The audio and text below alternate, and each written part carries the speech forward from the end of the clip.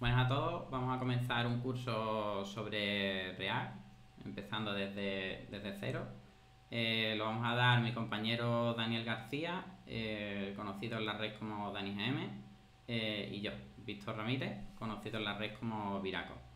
Ambos venimos de No es Magia Adobo, una pequeña empresa. Y nada, ahora os damos la bienvenida a todos a, este curso y esperamos que aprendáis con, esto que explicaremos. ¿no? Os damos la bienvenida a todos a este curso, esperamos que, aprendáis lo máximo para poder realizar vuestras aplicaciones con, con React. Ya os hemos contado quiénes somos, eh, os vamos a comentar qué es lo que, es lo que hacemos.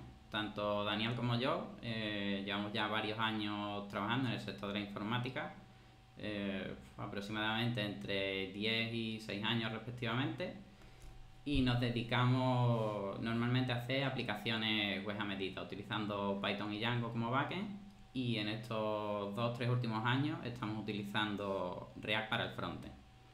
Eh, aparte de esto, pues también hemos tocado un poco de, de todo, otros lenguajes como Go, Rust, Java, Android, C++, etcétera.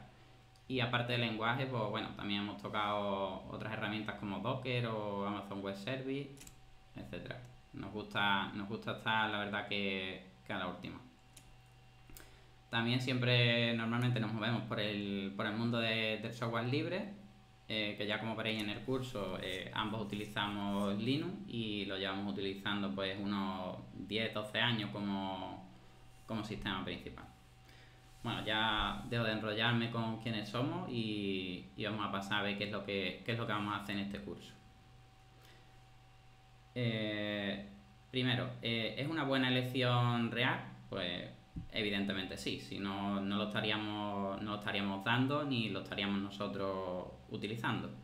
Eh, más adelante explicaremos el porqué y hablaremos de, algunos pros y contras que, que tiene React bueno, tanto React como, algunos de, de sus competidores actuales. Eh, ¿Cómo va a ser este curso? Pues para que os hagáis una idea, eh, el curso este lo vamos a dividir en, ocho bloques.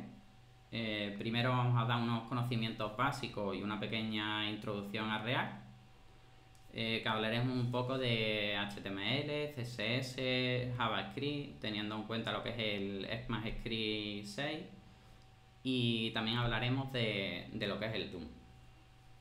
Después la segunda parte os explicaremos cómo instalar todas las herramientas y componentes y, aquí principalmente lo que haremos será dejar nuestro sistema preparado para poder trabajar con, con React. Después ya en la tercera parte veremos algo de componentes, veremos propiedades, estados, eventos y, cómo empezar un poco con, lo que es React. En la parte cuarta lo que, lo que vamos a ver va a ser eh, módulos, simplemente módulos. Aprender a utilizarlos, eh, cómo, estructurar, cómo estructurar bien nuestro, nuestro programa y a evitar reinventar la rueda, que es lo que, lo que nos pasa mucho. En la parte 5 ya empezará a hablar mi, compañero Daniel, eh, os explicará la parte de, enrutado y a debuguear con, con React. Eh, en la parte 6 hablaremos eh, de Fetch, cómo utilizarlo, que sería para hacer peticiones a, a una API. En la parte 7 os hablará de, Redux. Esta parte quizás sea la que, la que más le cuesta a la gente que entra en React, pero bueno, eh, poco a poco os daréis cuenta de que, de merecerá la pena. Y por último, la octava parte, eh, no por ello menos importante, la parte de, testing.